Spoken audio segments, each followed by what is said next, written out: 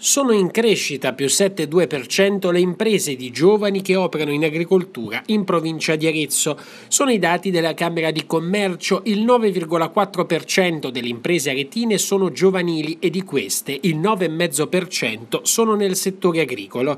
Questo, afferma Tullio Marcelli, presidente di Coldiretti Toscana e Arezzo, è un chiaro segnale del ritorno dei giovani ad un tipo di attività sempre più caratterizzata dall'approccio imprenditoriale orientato al mercato e di un progresso progressivo ricambio generazionale all'interno delle imprese agricole aretine. Secondo gli ultimi dati Coldiretti a livello nazionale, salgono a quasi 600.000 le imprese italiane condotte da Under 35 con un saldo positivo record di 50.000 rispetto all'inizio dell'anno. E quanto a innovazione, i giovani agricoltori aretini non sono secondi a nessuno. Non è un caso che un giovane imprenditore aretino, Benedetto Baracchi di Cortona, è stato da poco riconosciuto il produttore di uno dei 50 spumanti più buoni del mondo.